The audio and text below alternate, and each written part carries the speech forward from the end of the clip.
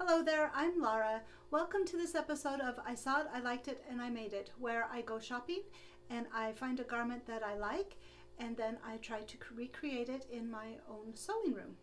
So today's video, I'm going to show you the process that I took to recreate this dress and then I also encourage you to kind of keep an eye out for two errors that I made that almost destroyed the project.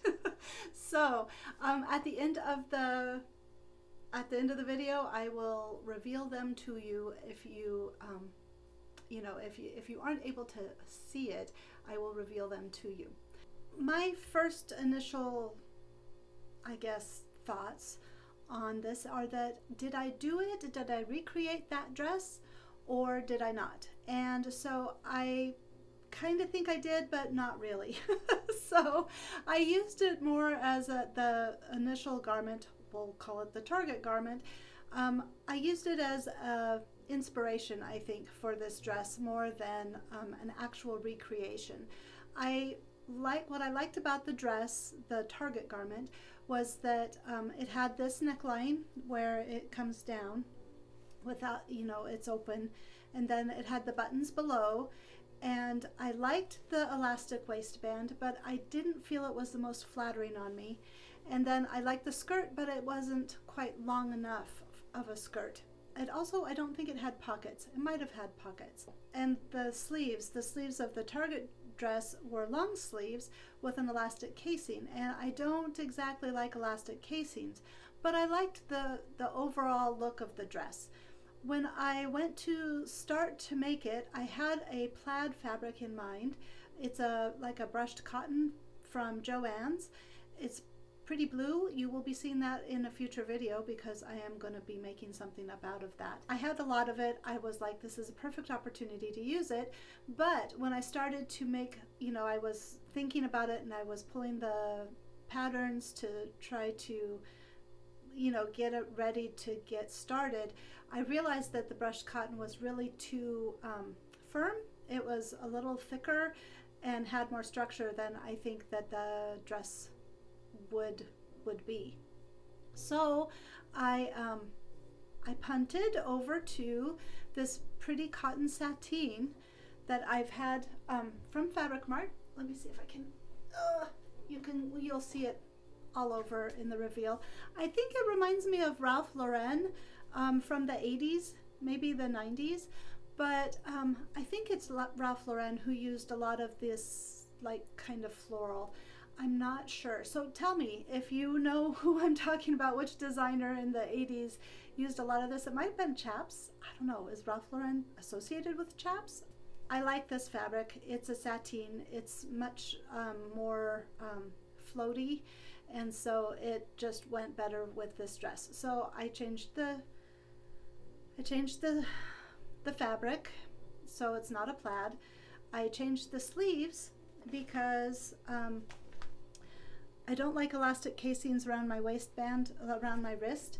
I have found that like the last two shirts that I've made with elastic casings, and part of the problem is because it's not long and like the sleeves are ending up being a little bit shorter than like around my sleeve.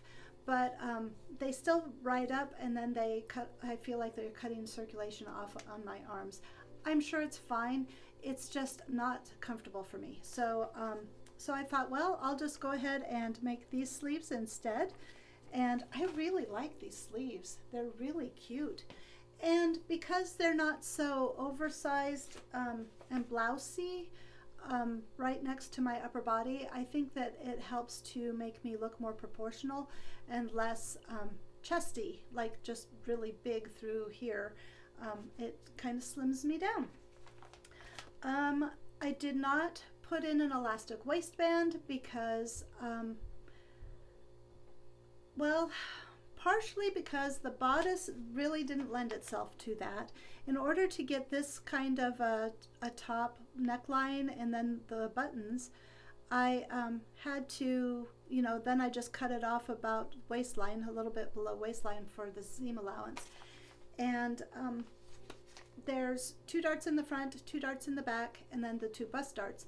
So I ended up um, taking out the back darts to have enough roominess around around me um, to be able to pull the shirt, the dress off over my head um, because I didn't want to put in the elastic waistband because then it would have just been all of that shaping would have been lost. And so instead I opted to leave the front darts in and then just attach the skirt to the waistband. The thing that happened though was that I thought I was sewing the seam high enough that it would be at waist height and it actually ended up being just a little bit shorter. Um, it's a kind of an inch extended like dropped waist, maybe two inches, two inch drop waist. Um, I still like it. Um, however, it is not true to the, the garment that I had intended. Um, so let's see. I didn't I didn't do the sleeves quite the same. I didn't do the waist quite the same. I didn't use the fabric quite the same. I do have the same neckline. Um, the skirt is a little bit longer. Um, I was going to attach a ruffle and decided not to because this ended up being just the right length. So did I actually end up doing the the dress? Um, well, I don't know, but I ended up with a nicer dress. I think I like this dress a lot. Um, the the shaping, you know, gives some, you know, it, it doesn't hide my body. I like how the the top is fitting and classy, but um, you know, it's still loose and I feel comfortable wearing it. I I don't think it's very much like the Target dress, but I, I like the dress a lot. And it was an, a good exercise for me to um, kind of think things through. Um, attaching the skirt to the bodice was probably the most difficult decision I had. Um, it was, you know, I, I entertained different options and I just didn't want to have that elastic look. So I could have put in a, a drawstring, I could have put in an elastic waistband. Um, I'm glad that it turned out that the the bottom of the bodice was large enough that I could just um, attach it because I think that looks a lot better. Let me put in the reveal and I will let you kind of look and see if you can spot the two things that happened um, without, um, you know, without me saying them. And then after the reveal, I will show you what they are. So I'm going to take this off too. So I'll talk to you in a second.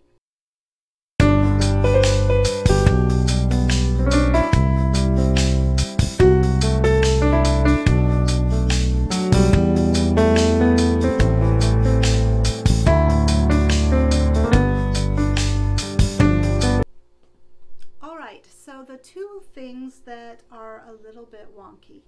The first thing is the buttons, which you can't see the buttons, which makes me happy. Um, let me see if I can get it even close enough that you can see. So here's, let me show you. Here's a button, here's a button, here's a button, and then here's a button, and then here's the waist seam. I mean, yeah, the waist seam. So these buttons and this button, as you can see, this one is this far apart, these are this far apart, and then those are that far apart. The buttons are uneven. And the only thing I can think that happened was that when I had marked where to start the buttonholes, that I had done the first one and the second one, like, so I marked them and then I realized that my sewing machine goes the opposite direction first. So I remarked them, but I think that the second one, so the second one was right, but then the subsequent ones got all messed up. I think I used the wrong mark for the third one, and then it was just sad. It was just sad. However, the buttons that I used, you uh, totally blend in to the dress and you cannot tell that that's what happened. So at that point, I was like, I don't know, I just.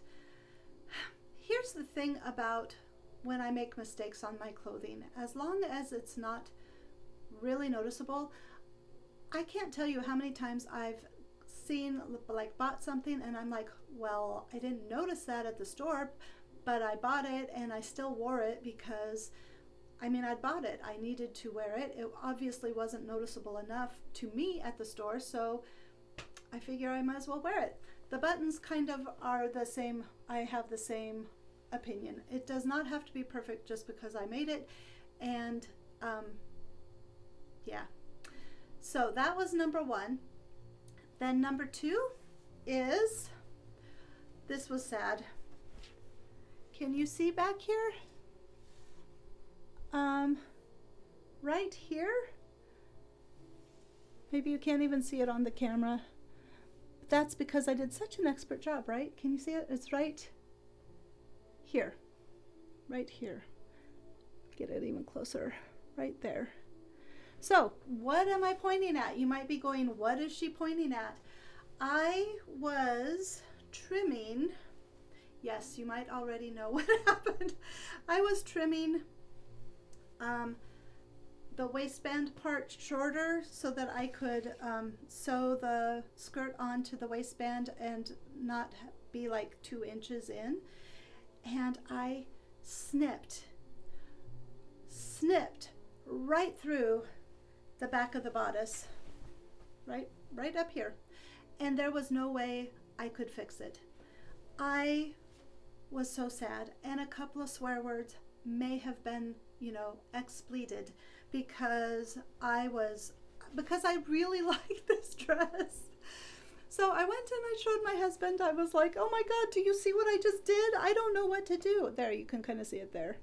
So just a nice little snip. Um, and he said, well, for your video, I think you need to just scotch tape it. And then I was like, but I want to wear this dress. And then when thought about it a little bit more, and he had said about the scotch tape. I was like, I will fusible interface it so that it is, um, it's like a band aid. It's like a garment fabric band aid, right? Where is it? I can't even see it. Dang. Anyway, I think you saw it already. Where is that? Oh my gosh, right there. So, um, I did that and then I'm going to some fray stop and put it on the outside and um, if it doesn't ruin it um, I'm going to wear it until I can't wear it anymore. And so I was very happy when I did that that I actually had chosen to um, not finish the seams. I just uh, finished them by pinking everything um, and so now I'm like well that's good that I didn't waste all my time making the inside so beautiful when I snipped right through it and I probably won't get to wear it very much, but I am going to wear it because you really can't tell, I don't think. Well, what do you guys think? How did I do? Do you think it matches the the reference dress, uh, the you know the Target garment, or do you think I really kind of just designed my own designed my own dress, taking that as an inspiration? Um, either way, I'm happy with the outcome and I just wish I wouldn't have snipped through the fabric. So in the future, and I was even being careful. I was going to say in the future I'll be more careful. I was being careful. It's just that's what happens, I guess. Anyway, um, thank you very much for coming and watching. I, if you're interested in this kind of video, I highly encourage you to please subscribe. I am getting so close to a thousand subscribers and so I would really appreciate it if you kind of pushed me over into the thousand subscriber realm. Um, thank you to everybody who has subscribed. And next week, next Sunday, I am doing a collaboration with Erin from Erin Sews, and I am so looking forward to it. It's been so much fun. I've already started kind of working on that. I hope you will join us next week, and I guess that's all. Thank you so much. You guys have a good rest of your day, and I will see you in the next video. Bye.